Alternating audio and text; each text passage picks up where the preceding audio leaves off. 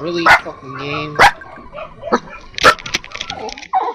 What the fuck?!